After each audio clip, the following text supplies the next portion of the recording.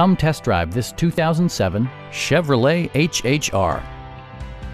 Smooth gear shifts are achieved thanks to the efficient four-cylinder engine, providing a spirited yet composed ride and drive.